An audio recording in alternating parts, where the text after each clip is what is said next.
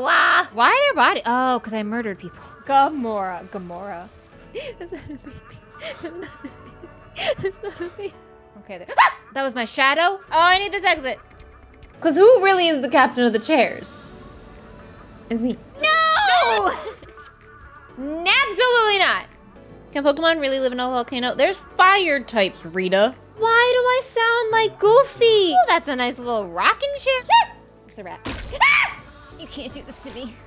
How do you do? How do you do? Oh, I hate it. Uh, uh, uh, uh.